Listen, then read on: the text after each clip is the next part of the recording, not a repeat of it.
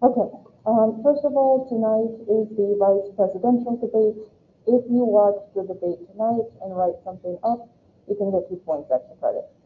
Um, because I don't know if there's going to be another presidential debate or not. Nobody knows at this point. Um, and also, given the age of both President Trump and former Vice President Biden, there's going to be a lot of attention paid to the vice presidents because they could hypothetically end up taking over for either one of them. Um, so there can be a lot more attention being paid to these two VP candidates than in recent years. Also, the midterm exam is now up in Blackboard. It's due a week from today by 11:59 p.m. Um, if we have time at the end of class, I do want to uh, point out a few things about the um, midterm. Okay. Uh, so we didn't quite finish off. Um, oh yes, Johnny.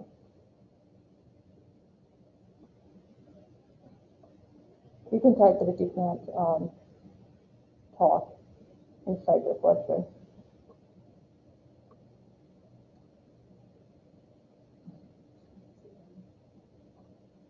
He might be typing. I'll give it a minute.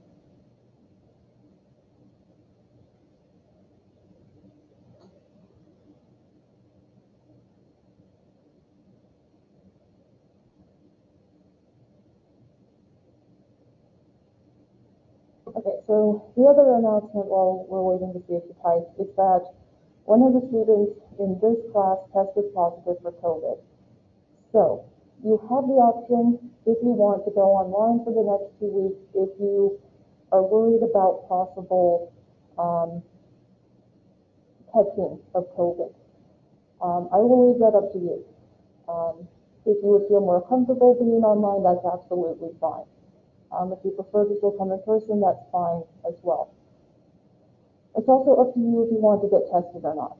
Um, unfortunately, the college isn't completely clear on what the policy is other than give the students the option to go online and let them know that someone tested positive, so you can get tested if you want, you can go online if you want, or you can keep showing up. So just kind of an FYI on that. And I guess you didn't have a question. Okay. So we had ended last time talking about um, all right, so we ended here, if I remember. Um, so we talked about um, some of the problems with the legislature, so we'll wrap this up and then we'll move on to the most recent legislative session. Okay. Um, so there is non-legislative lawmaking that's still part of lawmaking. Um, the governor can give recommendations on legislation. Um, she can appoint the state boards and commissions and is in charge of the interstate and federal relationships. Um, so it's up to the governor to accept stimulus money or not. In 2013, Governor Perry, or sorry, no, in 2009, he decided not to accept all of the federal stimulus money that was available. Um, for what reason, I don't really know, but that was the decision that he made. Um, and in 2013, he decided he did not want to expand Medicaid because the state was going to have to pay for the costs initially, and he didn't want to put the money up for that, which actually does kind of make sense. Um, so he's, Governor Abbott is our point of contact. He's the one who's been interacting with the CDC, with the president, um, dealing with state business, like getting Tesla to come to um, Texas. So the legislature can ask for something, but sometimes the governor can just say no. Um, you also have the role of the state administrators um, interpreting the various statutes put forth by the legislature. Um, if you give, well, let's say if you create new environmental policies, right, you're going to have the Texas Environmental Board, you're going to have the oil companies wanting to get involved. how do we interpret this new rule? How do we implement this, et cetera, et cetera. And of course, if Texas violates the state and or federal constitutions, then the courts will get involved. Um, Last Governor Abbott issued an, an executive order saying that there would only be one drop-off location for ballots per county. Um, this is widely been criticized as an attempt at voter suppression. It's definitely going through the courts. Um, and in all likelihood, I can't see how the court would uphold this as reasonable. In 2014, federal courts struck down the state's constitutional ban on same-sex marriage. So if we pass a law that violates federal law or the federal constitution, uh, if it doesn't get struck down by the state courts, the federal courts will definitely strike it down. Um, so the legislature can pass laws, but that doesn't mean they're going to necessarily stay in place.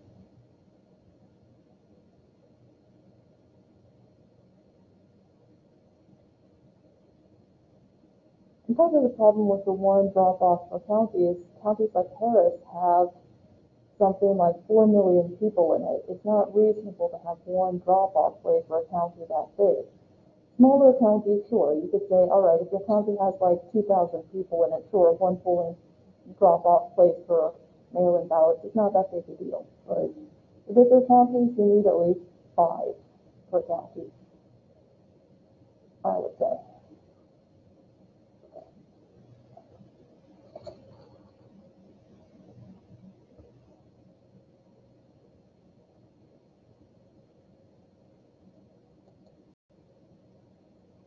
All right, so there's a lot of very valid criticisms of our state legislature. Um, the ridiculously tiny salary doesn't help. Um, the irregular and short sessions mean this isn't a full-time job for the legislators. This is a, oh, right, I have to go to Austin this year kind of thing. And even with the compensation, they're only making about $30,000 from their end session. Not a lot of money. They usually have to have a roommate to pay for the rent. And of course, you have to find an apartment that's month to month, right? Because you can't have um, a year-long lease unless you can afford to have a place in Austin. Um, and Austin is expensive. It's not like most legislators can afford to live there on the salary that they make. But the voters don't want to increase the salary. They look at it and they say, why should we pay you when you're not in Austin? Why should we give you money when you're not there, right? And there's some validity to that argument, but at the same time, it's like $600 a month is ridiculous, guys. I mean, we could be paying them at least twenty thousand a year when they're not in session. I mean, make it something, pay them above poverty wages. But the argument is, well, they're not in session, so why should we pay them when they're not working? Um, also, there's not a lot of experience. So 31 senators have to serve on 18 committees, plus work on legislation, plus meet with their constituents, um, so they can't research, they can't draft the bills. So what do they do? They ask the lobbyists to do it for them, right? I don't have time to research this environmental bill. Oh, but someone from um, the oil company is willing to do it for me. Great, go right ahead. So we see a lot of over-reliance on lobbyists because they don't have the experience they don't have the personal staff, and they don't have the time. So it creates a very vicious cycle of relying on interest groups to tell you how you should vote on the bill rather than your staff helping you to come to a decision by pointing out both sides.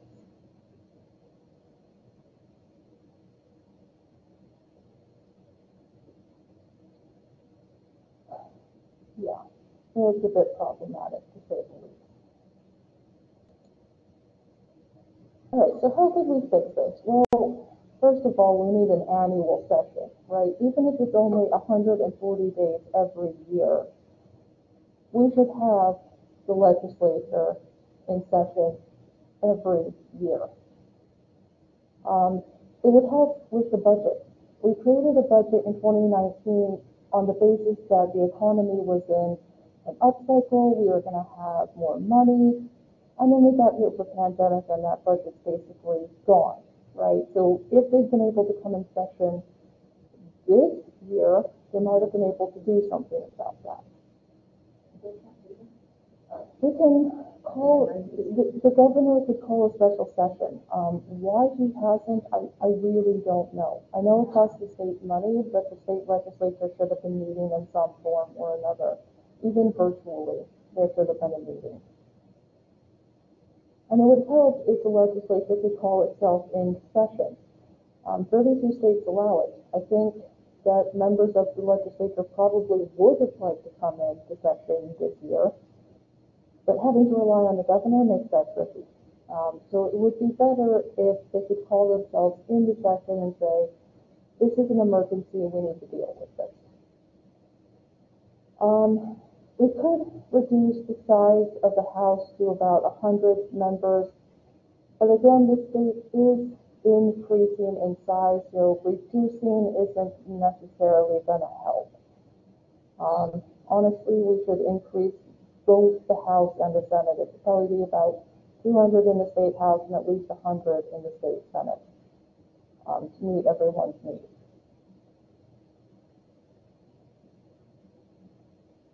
We could also make it one chamber.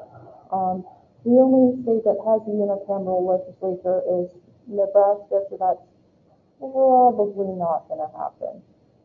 Um, but at least increasing the size of both the House and the Senate would be reasonable, I think.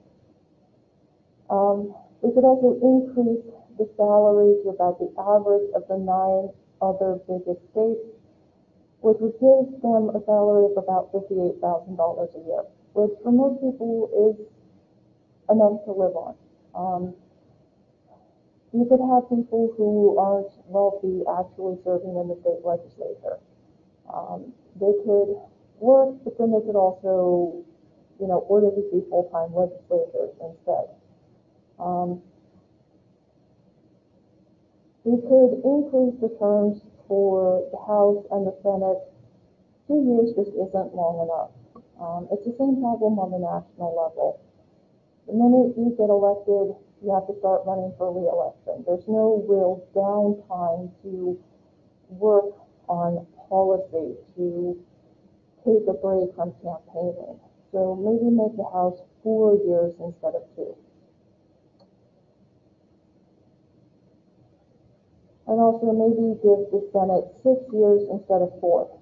Um, give people longer to become experts. Give people the ability to really understand the committee they're working on. Um, be able to become experts in policy rather than um, the go-between. Also, it's ridiculous that there's 18 committees and a 31 member Senate. Um, some of those overlap. Uh, there's confusions about jurisdiction. Honestly, you could probably have maybe 10 committees, and that would be more reasonable. Or again, increase the size of the Senate. There's 18 committees and 31 members. That's just not going to work. And also, it would help if we crack down more on lobbying. Um, have personal staff for the state legislators. Take the power of research away from the interest groups. Have someone who works only with that representative telling them, here's what the bill actually says. Also, um, lawyers who are also legislators can get essentially a retainer from a corporation that sends lobbyists to Austin to influence them. And sometimes, if they're lawyers, they can be asked to postpone a trial involving an interest group uh, until the legislative session is over. Uh, that's a problem, right? That, that should not be allowed to happen. Um, so we need to take money out of it as well. Um, we need to give the legislators a living wage, staff that belongs to each member or shared maybe between two members, and take the special interests out. Um, because the way the system is right now, it's just not very effective.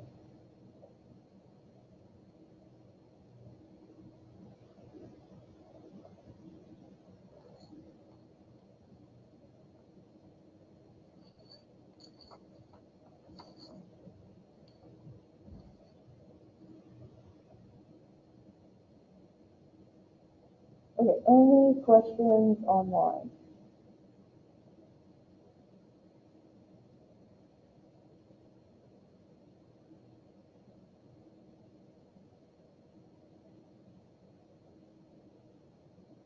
Uh, no. But um, can you do me a favor? I'm sorry, can you speak up a little bit, please? Uh, n- I don't have any questions, but um, can you do me like a favor? Can you hear I'm me? I can hear you, yeah. Um, is there like any way you can like adjust your uh like your recording thing? Cause it kinda, like sounds muffled. Sure, is this a little better? Uh, it's 'cause, like when you talk, it sounds like muffled. Yeah, that's because of the mask, I think. Um, all right, I'll try to speak up. Uh, I I don't mean it. I don't mean to like be mean or nothing. It's just it's kind of hard. No, it's okay, it's understandable. Um, totally, totally understandable. Can you hear me without the mask? Uh, yes, I can hear you now. Cause I think you moved it. It's just because like sometimes like when you're talking, it like it like uh I don't know like it doesn't sound like not that it doesn't sound clear. It just sounds like it's muffled. Like if every something's like around the auto thing. It's the mask, I think. It's because I'm wearing a mask. Okay, um, I'll just, Well, don't don't take Um, off. Keep your mask on. it's kind of on, don't worry about it. It'll be fine. All right. Okay. Appreciate it. Yeah. All right, so we're going to now switch to the um, last legislative session that we had, um, which of course was 2019. We're going to talk a bit about um, what was passed in the legislative session. Um, some of the bills, uh, the controversial ones, the not so controversial ones, just kind of the important legislation that got passed.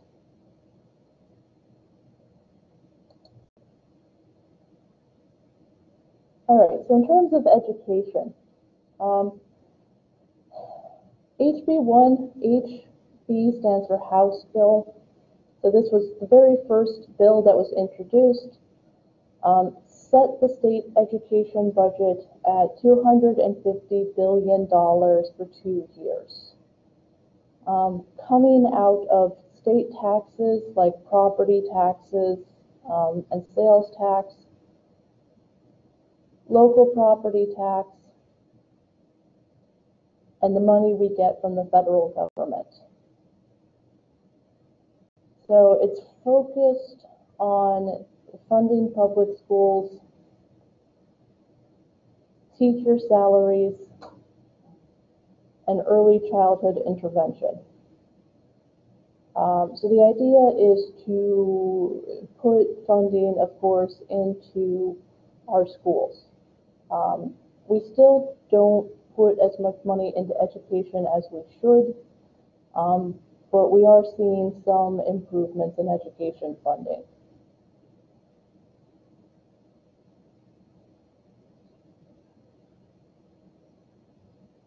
HB three, um, gave eleven point six billion dollars, um, with six point five billion for education spending, um, and five point one billion basically to lower property taxes and offset the cost of more money going into education.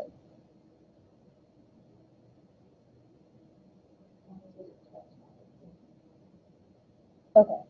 Um, Now, this was both good and bad. Um, it did increase per student funding by about twenty percent. But, there's always a but, isn't there? They decided to include really a bonus of between three to twelve thousand dollars for, um, high-performing teachers. Now, on the face of it, this doesn't sound super controversial, but what's the problem with this? Where are the highest performing teachers located?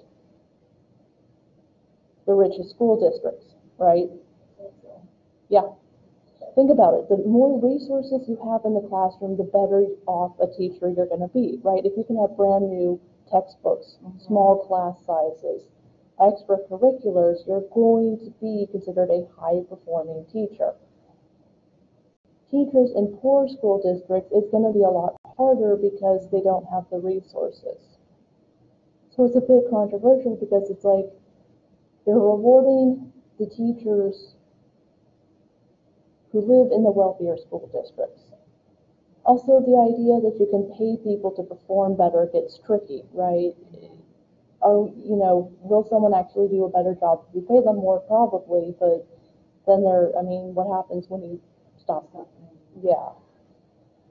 Um, but because of the money in HB one and HB three, these were pretty, um, bipartisan, fairly high unity. Um, obviously it helped that we're putting more money into education, so there wasn't too much of an argument on this.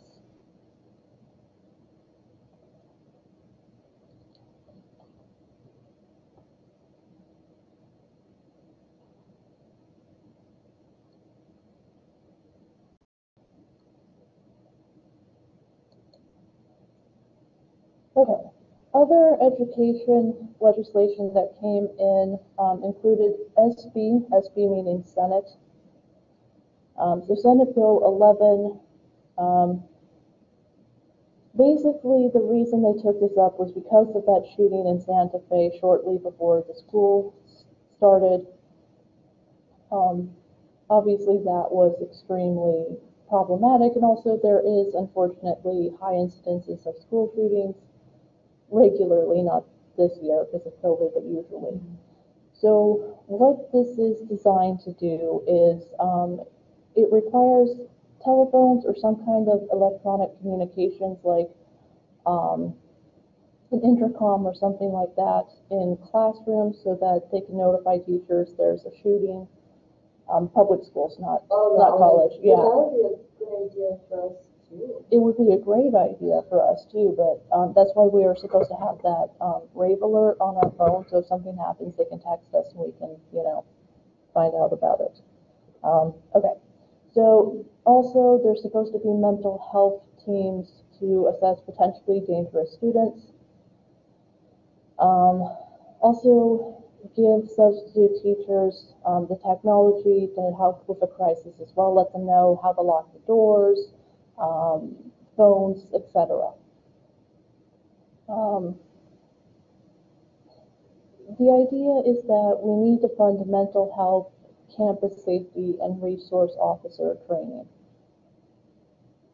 Parkland shooting was partly as bad as it was because the school safety officer didn't go in and engage with the shooter like he was supposed to.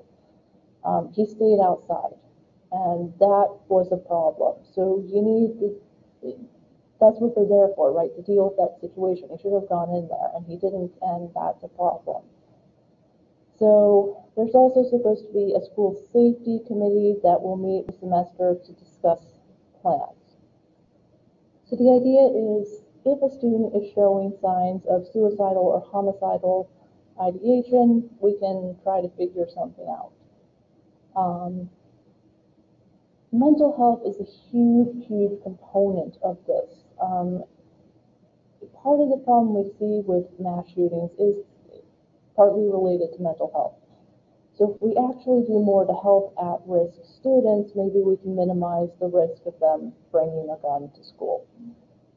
Um, so again, very, very high bipartisanship on this. People were looking at what happened in Santa Fe and saying this, this, we gotta do something about this. Um, and the other important education legislation was Senate Bill 12. Um, only one no vote in the House and completely unanimous in the Senate, so that should tell you this was also highly, highly supported. Um, basically, it increases the state contributions for teachers' pensions. About one point one billion dollars over two years, um, to help with the contributions for the next six years. And a supplemental two thousand dollars, um, for retired teachers. Now, some members have wanted an automatic cost of living adjustment for retired teachers, others said no. So this two thousand dollar supplemental payment was a compromise. Um, it's helpful in one way, but it doesn't help if you're retired and the cost of living goes up. But at least they're trying to do more to help teachers, um, who are part of the state retirement pension. And it does apply to public colleges as well. Because we have the option of doing the state retirement system or taking our chances on the stock market. Yeah, I took the state plan. I was like, I'd rather have a guaranteed amount of money than mess with the stock market. Mm-mm.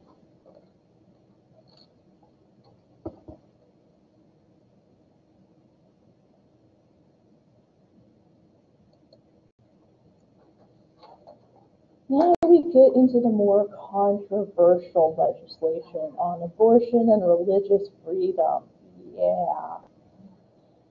House Bill 16, which, to be perfectly blunt in my opinion, is an absolute waste of legislation, basically said, in the extremely rare case that a fetus is born alive after an abortion attempt, the fetus has to be treated and sent to a hospital. If you don't do that, you'll get a $10,000 fine and a class fee free felony charge. Here's the thing that is so exceedingly rare that from 2013 to 2016, this never happened in an abortion case. Most abortions are performed in the first trimester when the fetus isn't anywhere close to fully developed and could not be born alive. Um, it's seen as unnecessary. I mean, the odds that the fetus would survive the abortion attempt are extremely, extremely rare. So it's not necessary in some ways. I mean, this almost never happens, so why are we legislating it, right? It's, it's problematic, to say the least. Um, it makes sense in those very, very rare circumstances, but there haven't been any cases where the doctors didn't try to treat the the fetus if it was born alive anyway. I mean, that just doesn't happen. Um, Senate Bill 22, also controversial, um, because it says that state and local governments can't, um, give funds or transfer funds to clinics, um, that perform abortions like Planned Parenthood. So no state or local funding can go to clinics like Planned Parenthood, even for non-abortion services like STD testing, birth control, mammograms, and pap smears. Obviously, this is being challenged in the courts for a variety of reasons. One, abortion is legal. You're punishing an agency that's not breaking the law, right? Abortion is still legal. Second of all, abortion is a very small percentage of what Planned Parenthood does. Um, they are mostly there for pregnancy testing, STDs, mammograms, pap smears, birth control. Um, so it's an attempt to defund Planned Parenthood, and that is going to make its way through the courts. We have one in Harlingen, but it's not licensed to perform abortions. There's only one clinic in the valley that has a license to perform abortions, and it's in McAllen. Otherwise, you have to go to San Antonio. Um, but federal funding was never allowed to go to abortions anyway, and it just, mm, abortion, women have to pay for abortion themselves, so money wasn't going into abortion services to begin with. Um, again, it's a bit of overkill. And then the other controversial one, Senate Bill 1978, the so-called Religious Freedom Bill. Um, Chick-fil-A is known as being fairly anti-LGBT, Uh, they don't believe in same-sex marriage. They don't believe in, um, even civil unions necessarily. And for a long time, they were partnering with very extreme organizations like the National Organization for Marriage, which at one point actually advocated killing gay people. Um, so when they asked permission to come into the San Antonio airport, San Antonio said no because you're promoting an anti-LGBT message and we don't want that in San Antonio. So what this bill would do is give the state attorney general the right to sue San Antonio for not allowing Chick-fil-A into the airport. The other reason San Antonio said no to Chick-fil-A in the airport is Chick-fil-A is not open on Sundays because they're a Christian organization. When do people travel? On the weekends, right? So the airport would be losing money because Chick-fil-A would not be open on Sundays. So for them, it was mostly an economic issue. You're not open on Sundays. We can't, in good consciousness, allow you to be in our airport. Um, so it's been nicknamed the Save Chick-fil-A Bill. And it, it's fine if people want to go to Chick-fil-A, yeah, but the airport should have the right to say, look, you're not open on Sundays, and we need a vendor that will be open because this is some of the busiest travel days, and we can't afford to lose money on this.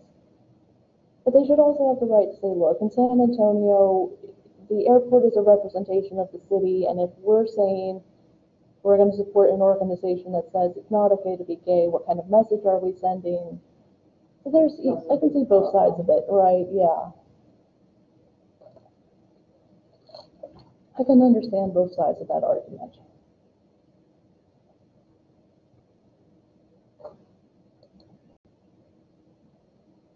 Okay, so some of the other legislation we've seen, just generally speaking, um, Senate Bill 21 raised the state's legal age to purchase tobacco products, including smokeless tobacco and e-cigarettes, from 18 to 21. This does not apply to military personnel. Um, if you're active military and you're 18, you can still buy cigarettes. Um, everyone else has to be 21 with the idea that obviously we want to cut down on smoking, so if we raise the age, maybe, right? Maybe. Um, House Bill 1545 was actually really a good one because it gives breweries the right to sell alcohol to go. Um, basically, the idea is it can increase revenue for breweries and um, support tourism, right? If you go to a brewery and you try something and you can get a six pack to go, great, right? That's going to be helpful. It also removes the restrictions on how many liquor stores you can own. If you can afford it, you can now own up to 250 liquor stores across the state. Um, there have been no changes to um, when grocery stores can sell beer and wine on Sundays, which isn't until noon, and no changes in the fact that you can't sell hard alcohol in grocery stores. Um, with COVID, they did change the rules on restaurants to allow them to sell alcohol to go, um, to help with business, right? If you can buy a margarita with your Mexican food, why not? Um, and that may become permanent because it is a moneymaker for the restaurants, and they may say, you know what, you can sell alcohol to go. I mean, we see it so you're not drinking while you're driving?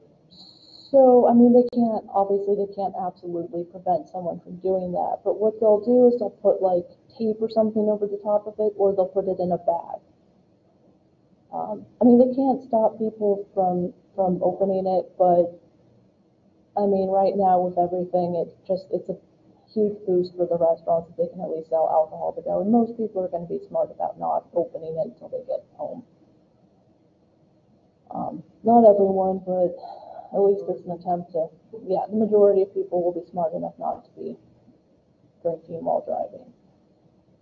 Um, HB sixteen thirty-one banned the use of red light traffic cameras that would take a picture if you blow through a red light, um, seen as unconstitutional. Uh, local law enforcement didn't like this because obviously it's not safe Um, people are constantly blowing through the red lights. And the money that came from those traffic fines went to helping trauma centers, so that's a little bit of a problem as well. Um, and again, it's just, if there are red light cameras, people are less likely to blow through the intersection. You remove that, there's no real punishment, right? So why wouldn't you have a traffic camera up so people don't go flying through the intersection? On the plus side, HB twenty forty-eight, um, basically removes the extra heavy fines for traffic violations. Um, in 2018, 1.4 million Texans got their license suspended because of unpaid fines. Um, because if they didn't pay the fine up front, they would keep getting more money added, more money added, more money added, till they couldn't afford to pay it. So they've removed that. Um, they've removed that yearly fine and basically said, look, you pay it off, you know, as soon as you can, but we're not gonna charge you extra for not being able to pay it off right away. So to offset that, um, the state added a two dollar a year fee for insurance that you have in Texas. And gave the state portion of traffic fines went from 30 to 50. So basically, it's designed to help stop punishing poor people who can't afford to pay a ticket that was $30 that went up to $1,000. The other really important um, bill was HB 3089, which extended the statute of limitations for sexual abuse cases from 15 to 30 years. Um, if you were someone who's abused by, let's say, a counseling center, but it's been more than 15 years before you found out about other victims, then you were out of luck. Now it gives people the right to go back and sue their abuser later. Um, so it was a unanimous vote in both chambers, right? Let's give people more time to go after organizations. Boy Scouts of America recently agreed to pay people because of sexual abuse, right? So sexual abuse survivors should have more time to go after their abuser and the organization they work for. So now they have more time. I agree, it takes time to Mhm.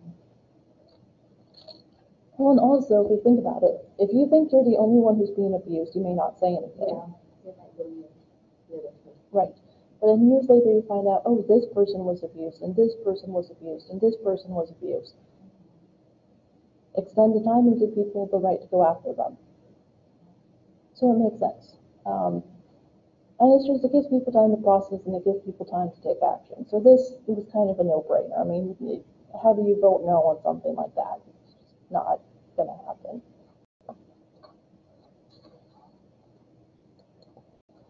Okay.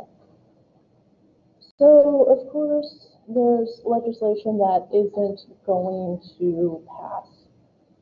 Um, House Joint Resolution three, um, was a proposal that would have raised the state salary, uh, sorry, the state sales tax by one percent.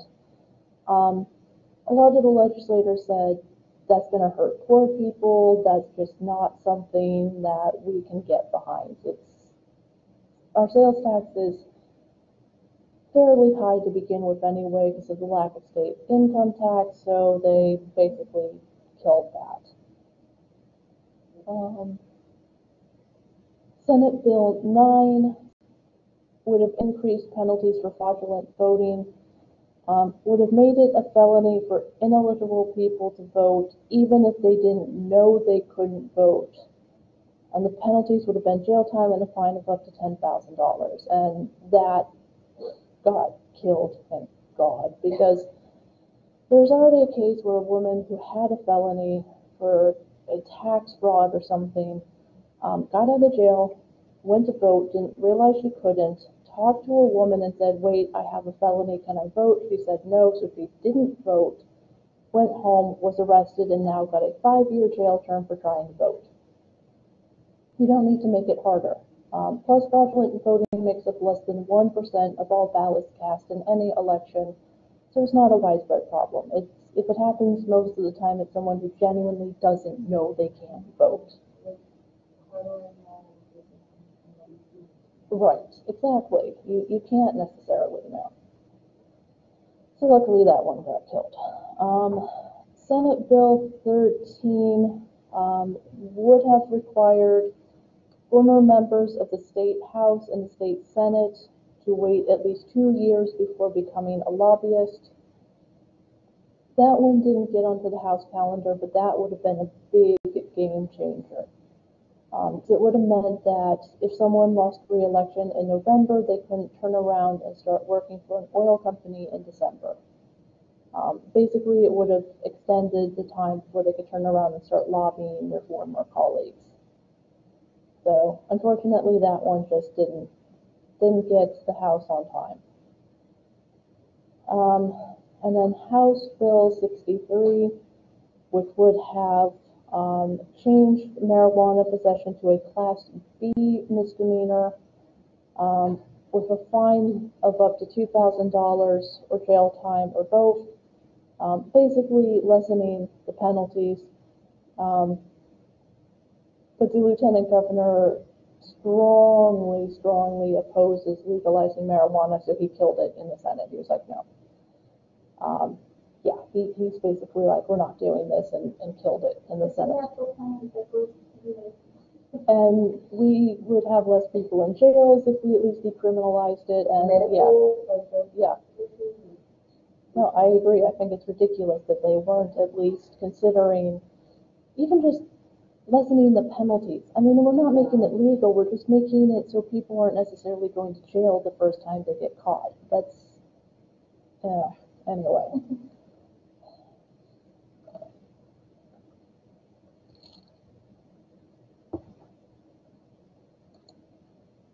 All right, some of the other failed amendments included Senate Bill, uh, ten thirty-three, which would have, um, banned abortions due to race, gender, or disability. It also would have banned abortions after twenty weeks, even if there was severe irreversible fetal abnormality. So even if the fetus would die, um, shortly after birth, um, that one didn't get on the House calendar, and also, how do you prove someone's having an abortion because it's a girl instead of a boy, or because, um, the child, you, you can't necessarily prove that, right? You can't prove that it's because of gender or race or disability. And part of the thing on disability is that, um, there are cases where, um, a woman might be told her her fetus is showing signs of possibly being born with Down syndrome, so they do choose to abort. Um, and there's a movement to try and stop that. But then again, the question becomes, how do you know that they're deciding to have an abortion because of that? And also, you know, do you have the right to tell someone that they can't do that? And so they go back and forth. Um, so that one didn't get on the House calendar in all likelihood, in all likelihood probably would have been struck down by the courts. Um, House Bill eleven thirty-nine, um, would ban the death penalty for prisoners with an intellectual disability. On the federal level, it's illegal anyway. You can't execute someone with an IQ of less than seventy. Um, but it didn't make the deadline for debate, so it's important that on the federal level, it's already in place if you can't execute someone with an IQ of less than seventy. Um, there's still questions about mental health. Uh, if someone was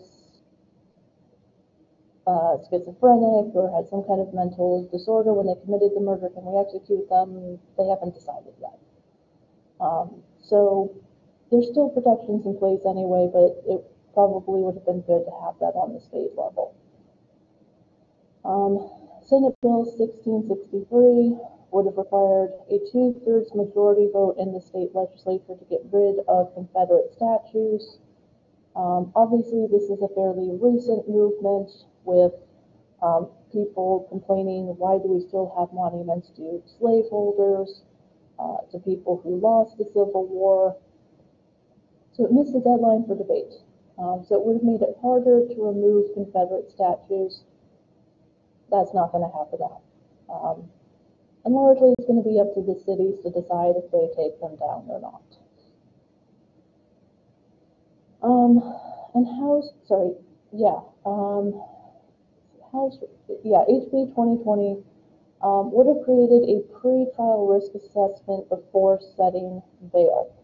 This is important because both Harris and Dallas counties were in violation of federal court orders because they kept setting excessive bail. They would give someone a dollar bail, um, or five hundred thousand dollars. So the idea is, you need to take into consideration a couple things. Are they a flight risk? Would they potentially harm someone else in the community? And realistically, how much money do they actually have? Um, it missed the deadline for debate, but it's something we're gonna have to deal with, because you can't basically say, oh yeah, you can get out of jail, but then tell them you can't actually get out of jail. Okay, so there is a deadline to report a dead person or the disability of the person. for, So is there a deadline to report a dead person or the disability of a person?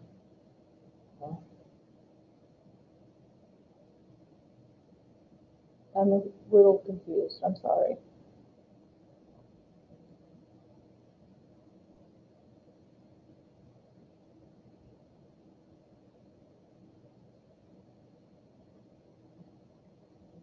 Okay, HB eleven thirty. Can you hear me? I can hear you. Okay. It, you were talking about the, um, HB one thirty-nine. So is there a penalty if you don't report somebody dead on time? Is that what it means? N- no, for eleven, wait, um, yeah, eleven thirty-nine? Mm-hmm. No, basically what that says is, I'm sorry, not um, eleven thirty-nine. Um, oh my gosh. Did I go ahead? I think I went ahead. Hold on. The disability one. The penalty for the disability one. If we don't um, oh, no, no, they're talking about you can't have an abortion. They were gonna try to ban abortion if the fetus would have a disability. Okay, okay, And I was getting it confused. Okay, sorry. Yeah. Oh, no, that's okay. Although that is a good question. Um, I think usually if someone is missing, um, you have to wait forty-eight hours to report them missing. And then if you don't report someone missing, then it gets into questions of why didn't you report them missing? And then they're gonna look at you a little bit more. Okay, Um, and like, there have been cases where people will not report that like their, their grandmother or grandfather died, so they can keep collecting social security, that's a okay, crime. okay, so then that's, that's something like they penalize, uh, it's against the law. Mhm. Okay, okay, then I was Yeah, getting, If someone's dead, you can get into trouble, yeah. okay, okay, I was getting it confused. I was listening to it and I was doing something else, sorry. No, that's okay, that's okay. Okay, thank you. Yeah, and it is interesting, 'cause if you ever watch shows about people who go missing, like, they'll go to the cops and they're like, oh, you have to wait forty-eight hours. And then sometimes the cops are like, well, they're an adult, they can, they can go missing, and you're like, "D- d- d- d- come on, man. Yeah. All right. Um, and then the last thing that came out of the legislative session were the constitutional amendments. Um, ten were proposed, nine failed to pass, or sorry, nine did pass, my bad. Um, the only one that didn't was the one that would allow judges to serve more than one municipality. Um, the argument for that was some areas, there's no need to have two separate judges for small municipalities, but the voters said no to that. Um, they didn't want overlap. Um, some of the important constitutional amendments included Proposition 4, which now says you have to have a two-thirds majority vote in both chambers of the legislature to introduce a state income tax. Um, before it was a simple majority. Uh, so basically what this does is it makes it harder for the state to introduce a state income tax. Doesn't make it impossible, just makes it harder. Um, because there's a lot of pushback. People don't want to pay, um, a state income tax. So basically, they told the voters, if you want to, you can make it harder. Mm, So, yeah. Um, Proposition three is important because it gives property tax exemptions because of natural disasters, um, floods, hurricanes. Hurricane Hanna did some pretty big damage down here. So you won't have to pay property tax if your house or business is severely damaged because of a natural disaster. And that's really critical. Um, you're gonna have to, even with insurance, there's still some expenses you have to pay. So If you don't have to pay property taxes for a year, then use that money to help fix your house. Um, it's pretty much a no-brainer. And then Proposition ten, which got something like ninety-six percent of the vote, I know this one's sweet, um, gives retired service animals the ability to be adopted by their former handlers or a qualified caretaker at no cost. Um, previously, what they were doing is sometimes they would put them up for adoption or sometimes they would put them to sleep. Yeah, I know. Um, so basically what this does is if a police officer worked with a dog for six, seven years and the dog's ready to retire, then the dog can go with, with them, right? And that would make sense because they work together.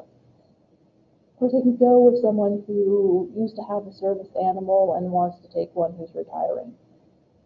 And again, pretty much a no-brainer, right? They should go back to people um, who work with them or people who know how to work with them because they do have that special training um, that would make it harder for it, yeah, for ordinary people to take care of them as well.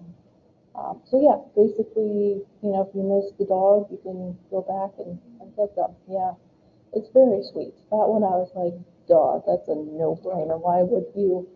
Again, I think it got something like 97% of the vote. It wasn't even close.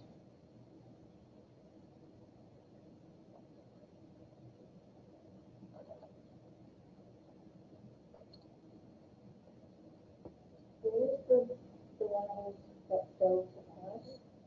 The one that would allow a judge to serve in multiple municipal courts. Oh, Basically allow um, municipalities to chair judges. And I think part of it for the voters was, how do we know they'll be impartial if they're tied to more than one court? Um, or that they'll have time to deal with the demands of multiple courts. So yeah, that was the only one to fail. The rest of them all went through. Okay, so does our state legislature work? The way it's set up, is this actually a well put together, well run legislature? No? All right, uh, should we have a yearly session instead? Yes? Those of you online, should it be every year as opposed to every other year?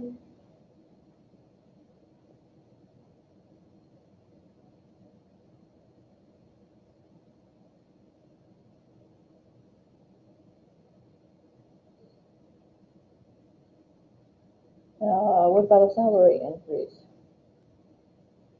I think anytime we get this deciding, it's, it's for my family. Sure. Yeah, I mean, it's, it's no one. I mean, seven thousand two hundred dollars is well below the poverty line. I mean, well below it. And, I mean, if thirty thousand would be closer to reasonable, but honestly, it should be closer to forty. If you want people to be able to survive. Um, I mean, six hundred dollars a month isn't even gonna cover your rent in most places.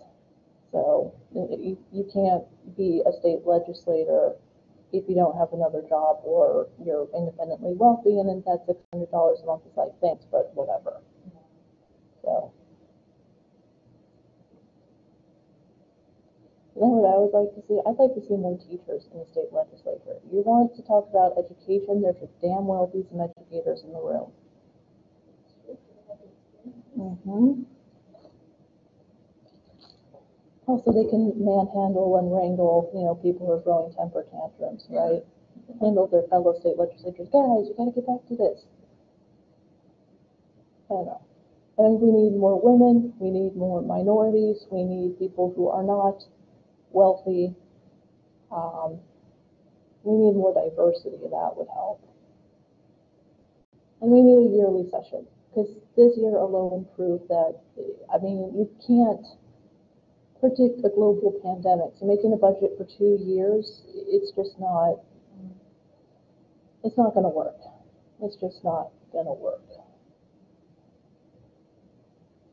Okay, um, so let me see about, um, pulling up the exam. Hang on.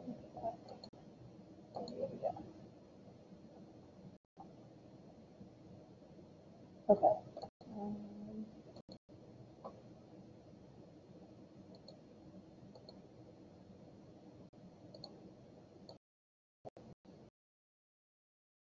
Um, so this is the midterm exam. Um, couple of things to keep in mind as you're working on it, because students do get a little confused. When I'm talking about in question one, how the state government was set up, I'm asking you to describe what kind of government was set up, the legislative body, the governor, etc. Also, and this one trips students up all the time, how do we amend the state constitution? I've Gotten multiple students who tell me how we amend the federal constitution. How do we amend the state constitution? Make sure you do not get those two confused. They are different processes. So make sure you tell me how we amend the state constitution, not the federal. Okay, because there is a difference. Um, because I think what happens is students look up how to amend the Constitution and it says federally but not state, right? So make sure you, you put in how we amend the state constitution. With the second part of the questions, the in your opinion part, there is no right or wrong answer. You will not lose points for your opinion. You will only lose points on this part of the question if you don't answer it or you don't answer it completely. When I'm asking for your opinion, I genuinely want to know what you think. So there is no right or wrong answer. There's no penalty for saying, um, state legislature works just fine, no big deal, okay? You're only gonna lose points if you don't answer that part of the question. So don't be afraid to express your opinion, to share your thoughts. There's no right or wrong answer. It's legitimately what do you think? Okay. Um, students get a little confused on that sometimes and, and worried, but don't worry about that. Um, it's genuinely just asking what is your opinion. Okay. Each question is worth 25 points. The exam total is 100. You'll write about a page to a page and a half per question, double spaced. Um, preferably Times New Roman 12 point font, but I'm not going to be that picky as long as it's 12 point font. Don't try to do like 16 or 18 point font. Uh, I will know. If you use something other than the book or your notes, um, cite it somewhere in the exam. Let me know it came from a website. If it's a direct quote from the book, cite the page number for me. Um, with the notes, you don't necessarily have to cite those. Um, you can just say from this lecture if you want. Um, but anything that's a direct quote needs to be cited. Um, and anything that you take from an internet source also has to be cited. I need to know where you got your information. So the exam will go through um, Assign, which is a plagiarism check. You'll have two attempts to upload the exam, um, and you will see your score. So if you upload the first exam and you're like, that seems high, let me double check my work, then you can resubmit the exam. Um, basically, I'm just trying to make sure you're not copying and pasting directly from a website and using it in your exam. The other thing to keep in mind with the exam is it is an individual exam. Um, I can't stop you from accidentally bumping into each other at Starbucks and talking about the questions. But if you turn in identical answers, or they're close enough that I can tell you wrote the answers together, that's a zero on that question. Um, I've had students in the past who try that, and trust me, I will be able to tell if you do that, so don't do that. Um, I don't have a problem if you want to meet up and go over the questions and say, well, this is what I think it's asking, that's fine.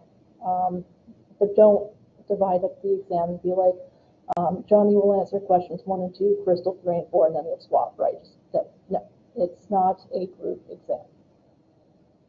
Um, what else? Um, I think that's about it. It's due in a week by 11:59 p.m. in Blackboard. If for some reason Blackboard's not working, you can email me the exam. Okay, any questions on the exam? Okay, it is, again, it's should I say it's open book, open note, open internet. Um, just make sure you cite anything that you use.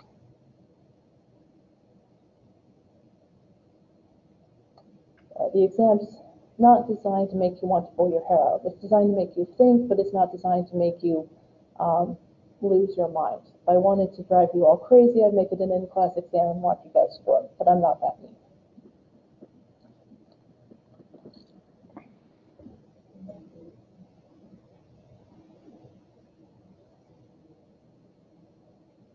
Yep, it's already on Blackboard, that way you guys have a full week to do it. Are there any questions from the students online?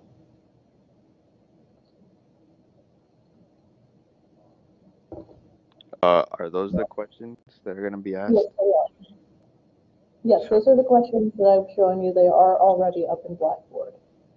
Okay, so we can um already start doing it, right? Yes.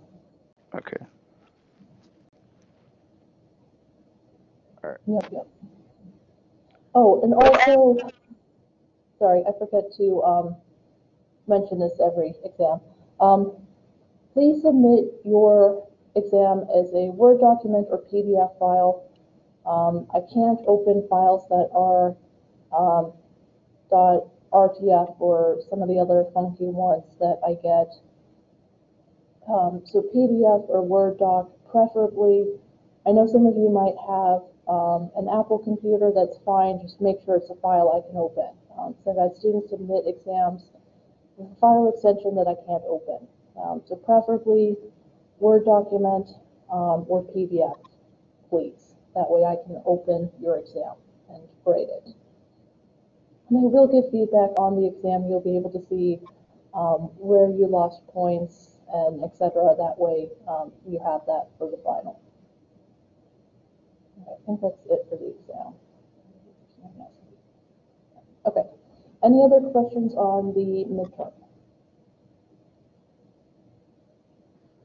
Okay.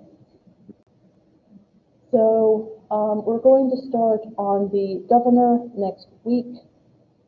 Um, for those of you who weren't here when I made the announcement this, at the beginning of class, um, one of the students in the Wednesday class did test positive for COVID.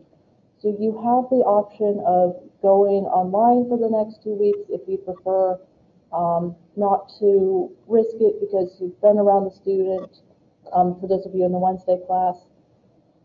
Or you can come to class. Um, it's also up to you if you want to get tested or not. Um, for those of you who are fully online, obviously that's not an issue. Um, those of you who do come to the Wednesday class on a regular basis, you have the choice to go online for two weeks um, to see if you develop symptoms or not, um, or you can continue coming to class in person. That is up to you.